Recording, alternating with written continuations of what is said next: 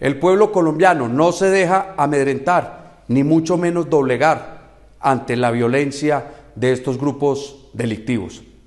En segundo lugar, nuestro gobierno no va a permitir que con violencia, con armas, hagan política. Están equivocados.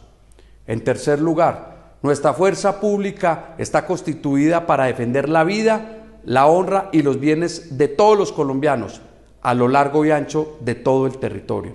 Es el momento de rodear a las instituciones, es el momento de rodear a la fuerza pública e invitar a todos los colombianos a que sigamos trabajando arduamente.